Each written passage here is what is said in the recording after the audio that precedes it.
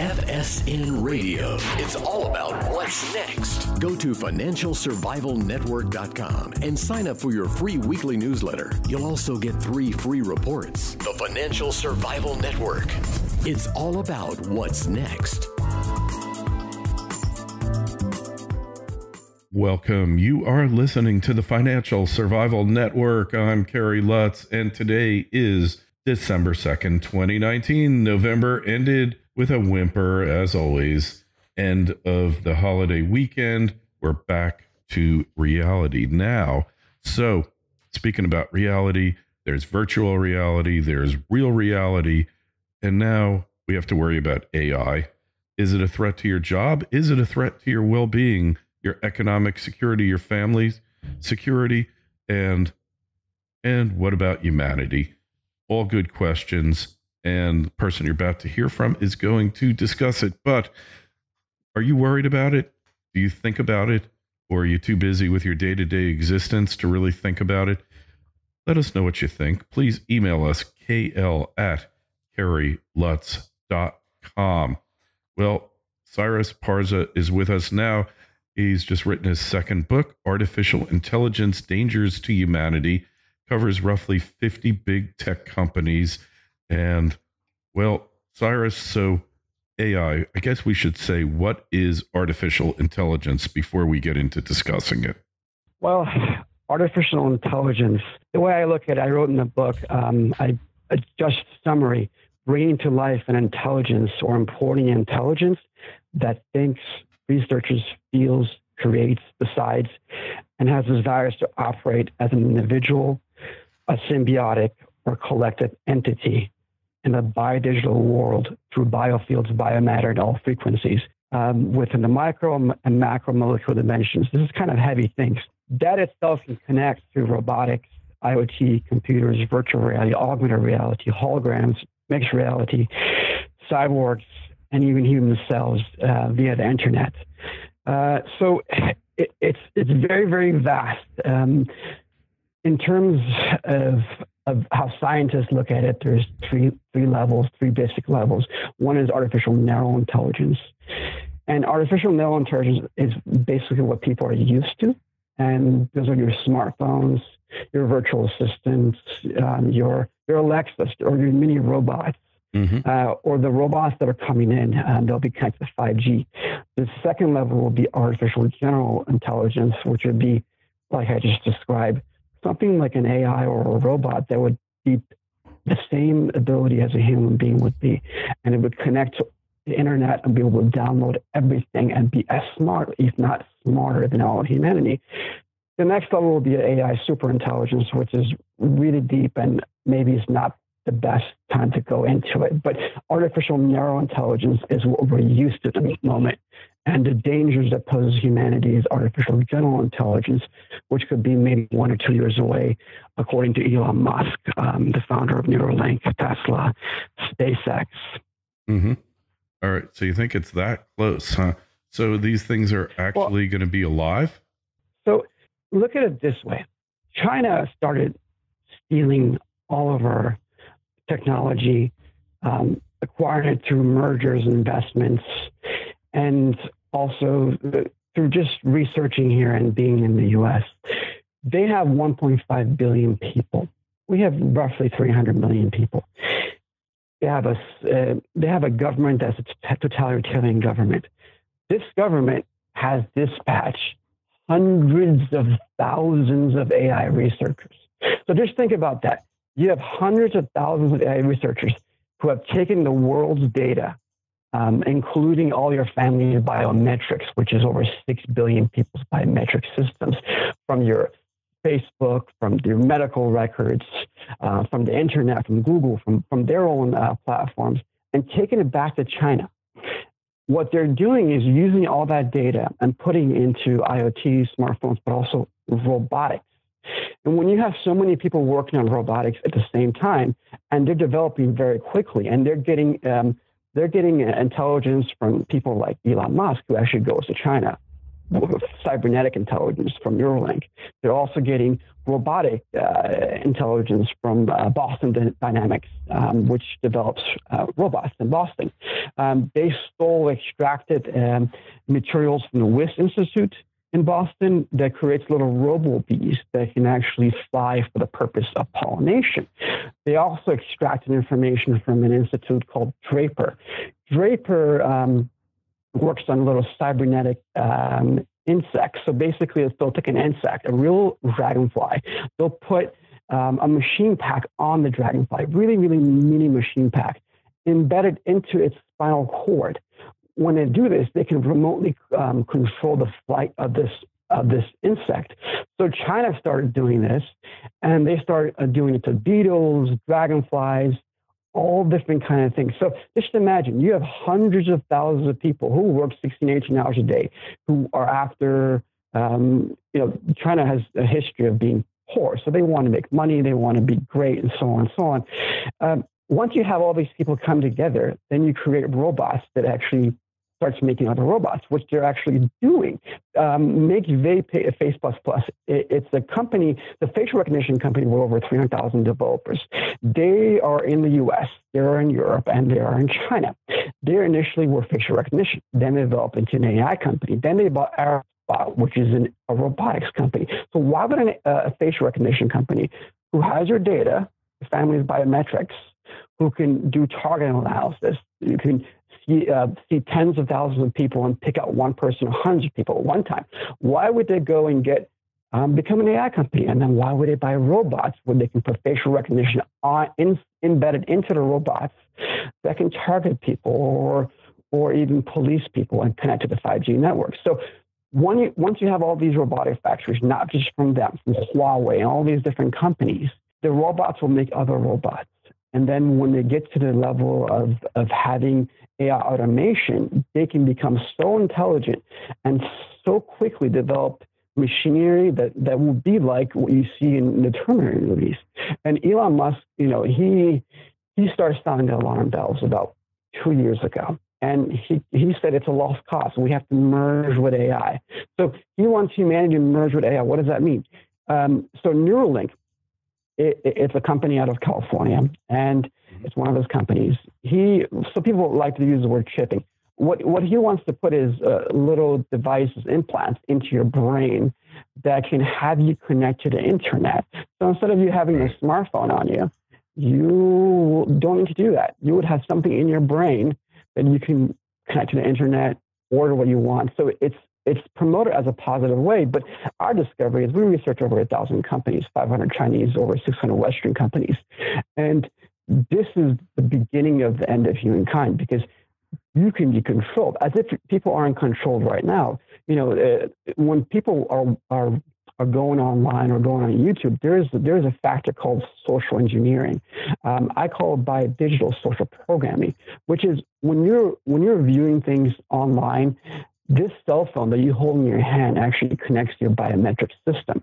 Yeah. It it, it, puts an influence. It, it's it's very deep. So I, I, guess maybe I'm going a little too ahead. But um, maybe I'll stop here if you have other questions. All right. Um, so I don't I'm know. If, on a tangent. I don't know if you ever saw this movie with James Coburn called The President's Analyst, uh, but it was really I, ahead of its time. And if you haven't seen it, you should, because basically he's the president's shrink, and he's kidnapped uh, by TPC, which stands for the phone company.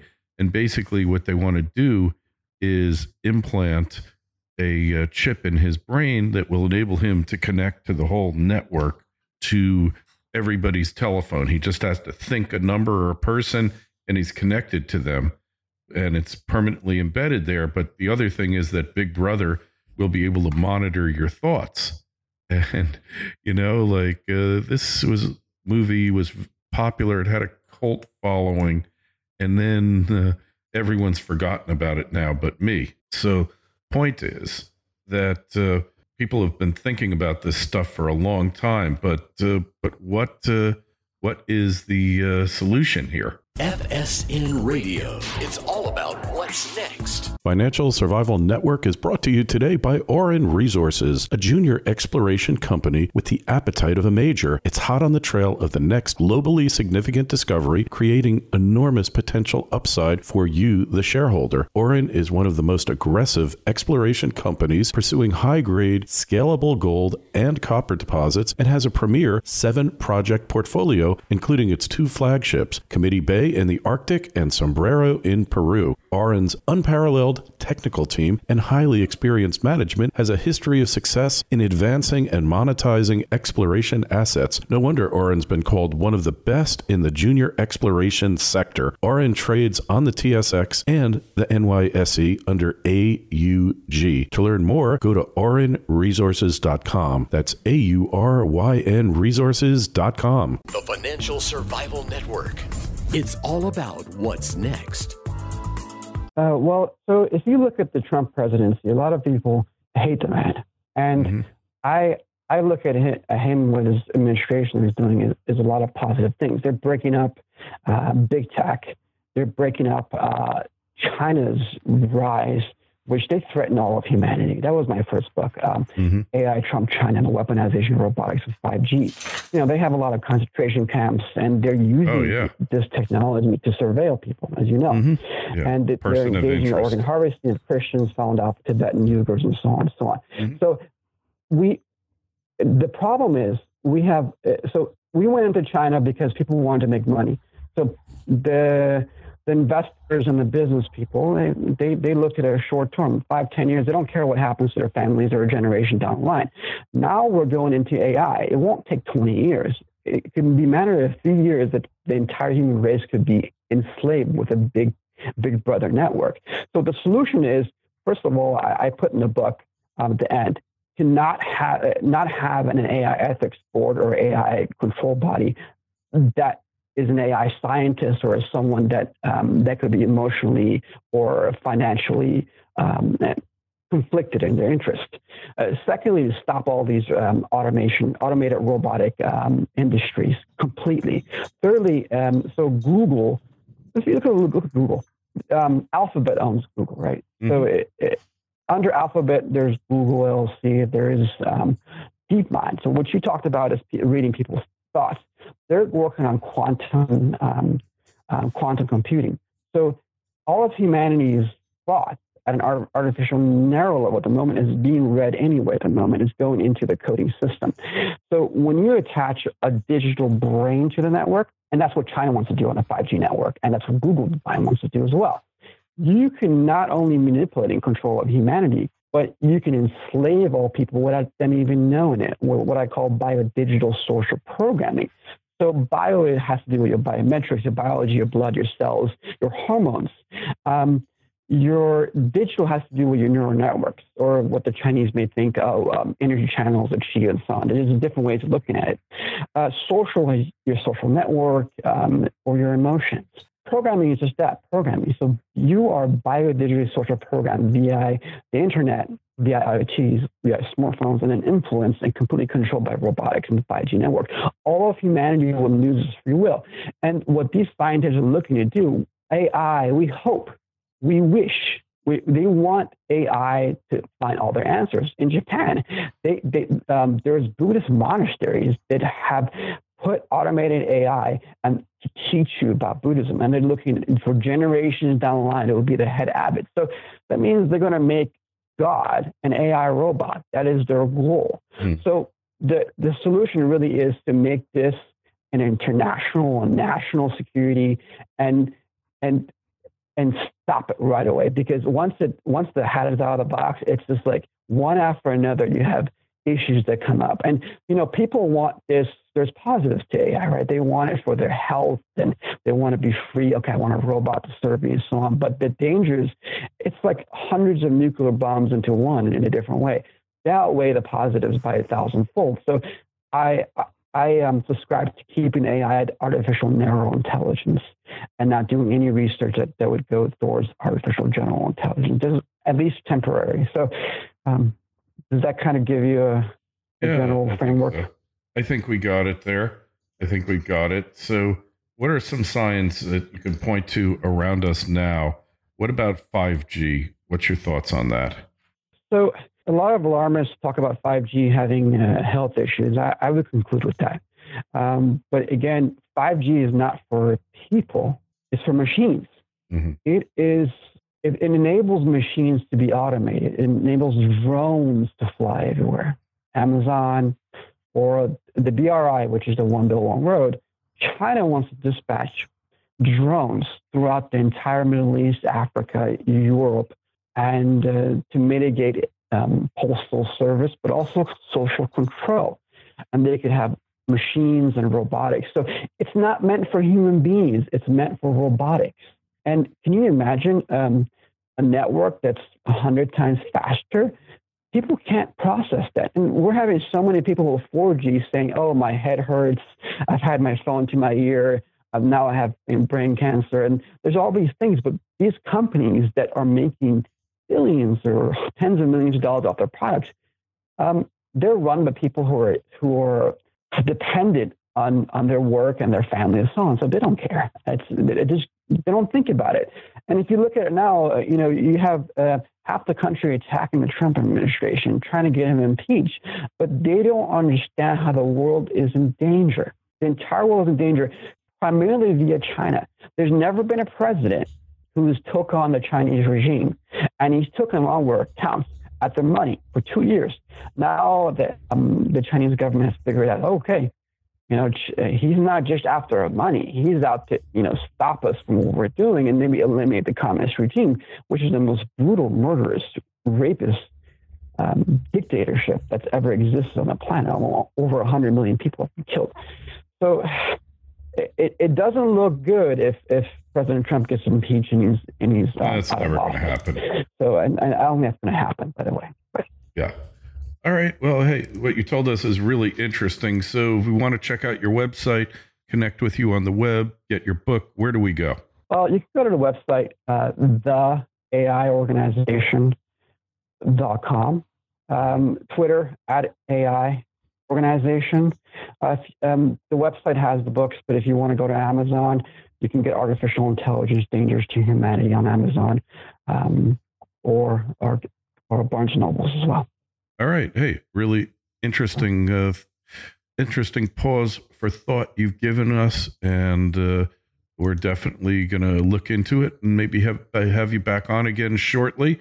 Uh, questions or comments for Cyrus? Just email me kl at kerrylutz.com, Twitter feed at Kerry Lutz, Facebook page Financial Survival Network, and join our site. Sign up for a newsletter financialsurvivalnetwork.com. Cyrus, thank you so much for being on and giving us the heads up on what could be a very serious, life threatening, perhaps species threatening proposition here. We'll talk to you again soon. Thank you for having me on your show, Kerry. FSN Radio. It's all about what's next. Go to financialsurvivalnetwork.com and sign up for your free weekly newsletter. You'll also get three free reports. The Financial Survival Network. It's all about what's next.